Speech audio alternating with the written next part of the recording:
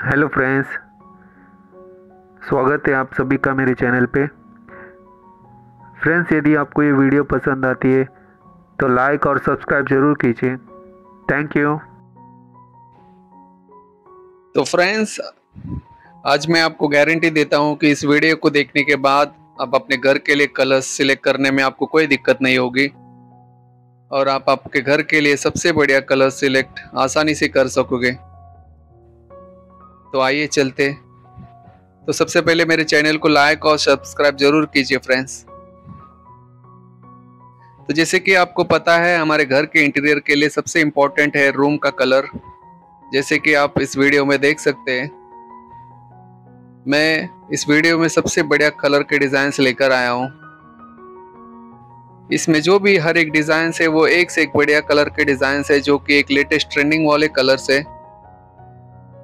और जब हम घर के लिए कलर चॉइस सिलेक्ट करते हैं तो डेफिनेटली ये हर एक के पर्सनालिटी के ऊपर डिपेंड होती है। उसे किस टाइप की कलर पसंद आती है? तो दोस्तों, जब भी आप कलर चॉइस करते हो तो आपको जो कलर करनी है, उससे ज़्यादा ये इम्पोर्टेंट होती है कि आप कौन से टाइप के कलर्स ना लगवाए।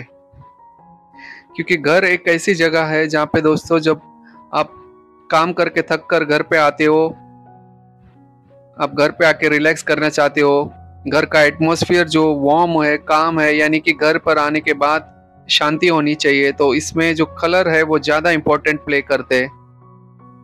अगर आप डल कलर लगवाएँगे या उबड़ खाबड़ वाले कलर लगवाएँगे तो ऐसे वक्त में आप बाहर से आने के बाद आपका दिमाग पहले से ही गर्म होता है, और घर पे आने के बाद और भी आपका दिमाग और भी ज़्यादा गर्म हो जाएगा। वैसे वक्त में आप जो भी है, घर के लिए कलर चॉइस करते समय किन बातों का ध्यान रखना चाहिए? आपको कौन के, कौन से रूम के लिए कौन सा कलर अच्छा रहेगा और किन कलर को अवॉइड करना चाहिए? ये जानना बहुत ज़रूरी है।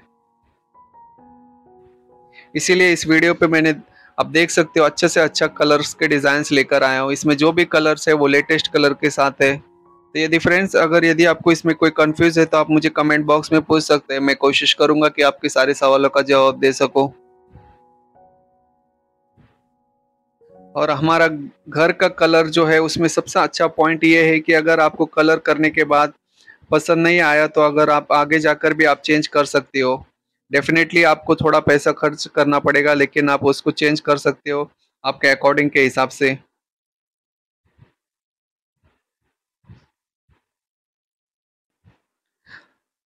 आप ज़्यादातर हॉल में या ड्राइंग रूम में हाफ़ वाइट हल्के नीले, हरे जैसे पीले, नरम टोन चुन सकते हो क्योंकि ये स्थानों को उज्जवल और अधिक आकर्षक बनाते हैं।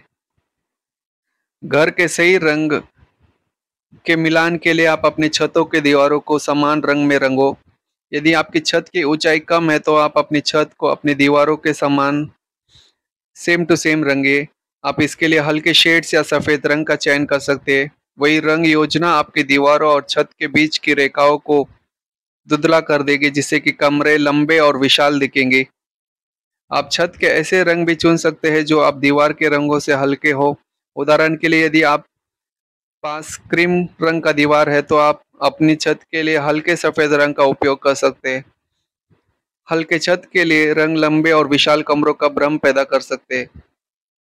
और सबसे इम्पोर्टेंट है, जैसे कि अगर अपने फर्नीचर के अनुसार घर के रंग के मिलान के लिए रंग तय करें तो फर्नीचर घर का रंग विशेषकर इम्पोर्टेंट तय करने में महत्वपूर्ण भूमिका निभाती है। इसलिए यदि आप अपने घर का रंग दोबारा करा रहे हो तो आप अपने फर्नीचर पर ध्यान ज़रूर देना चाहिए। यदि आपके पास हल्के रंग का फैब्रिक काउच सेट है तो हल्के घरेलू रंगों जैसे half white cream cream white यदि चुनो ये रंग अतिरिक्त सेट आप तैयार कर सकेंगे। और ये लाइट कलर्स होते हैं, जिसकी वजह से आपका रूम भी बड़ा दिखने लगता है। और ज़्यादातर आजकल लाइट कलर्स ही यूज़ होते। तो फ्रेंड्स जब भी आप कलर कराओगे तो मेरा सजेशन ये है कि आप लाइट कलर्स में चाहिए वो बेस्ट ऑप्शन रहेगा। अगर आप डल कलर लगाएँगे तो फिर आपको, अगर आप डार्क कलर कराना चाहते हो तो एक दीवार पे आप कराइए। जैसे कि तीन दीवार पे जो हमारे लेफ़्ट और राइट साइड और हम जहाँ पे पीछे साइड बैठते हैं, उसको लाइट कलर कराइए और जो सामने जो हमारा सेंटर जहाँ पे टीवी वगैरह, जहाँ पे हमारे टीवी टेबल कैबिनेट लगी रहती है, वहाँ पे आप डार्क कलर यूज़ कर सकते हो। तो उसके लिए आपको एक अलग से आपका रूम का कलर जो है वो अलग से लगेगा। और कोई अगर गेस्ट आता है तो उसमें आपका इंटीरियर देख के, उसको लगेगा कलर देख के कि इनका घर का इंटीरियर बहुत अच्छा है। इसमें मैंने वैसे कलर्स भी दिखाए जहाँ पे सिंगल एक कलर टीवी कैबिनेट के इधर अलग कलर है, बाकी तीन दीवारों पे अलग कलर से। या आप सेम कलर के भी जा सकते हो। अगर सेम कलर पे जाना है तो आप लाइट कलर में जाइए। डार्क कलर कभी ज़्यादा यूज़ मत करना, क्योंकि हमारा जो डार्क कलर जो है, वो मूड ऑफ़ भी हो जाएगा और उसकी वजह से घर भी अंधेरा अंधेरा लगेगा। और जैसे अगर आप बाहर पहले ही आप काम करके थके हुए आएँगे और घर पे आने के बाद वैसे कलर्स देखेंगे, एकदम डल जैसा तो आपका भी मन और बुरा लगने लगेगा। तो आप जब भी घर पे कलर कराते हो तो इसमें देखिए मैंने ज़्यादातर 80 टू 85 परसेंट लाइट कलर्स के ऑप्शंस दिखाए हैं। तो फ्रेंड्स यदि इसमें कोई सवाल है तो आप हमें कमेंट बॉक्स में पूछिए, मैं कोशिश करूँगा कि आपके सारे सवालों का जवाब दो।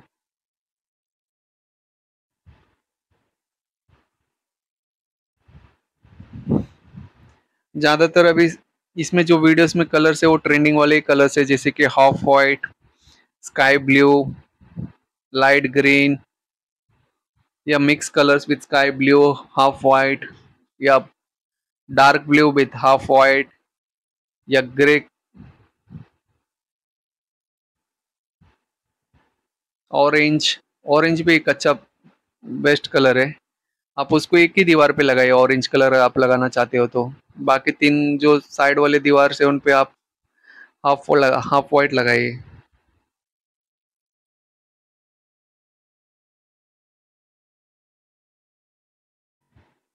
तो फ्रेंड्स यदि मेरी वीडियो पसंद आती है तो लाइक और सब्सक्राइब ज़रूर कीजिए, क्योंकि मैं आगे भी इस तरह के वीडियोस आपके लिए लाता रहूँगा। और मेरे चैनल को सब्सक्राइब ज़रूर कीजिए। Thank you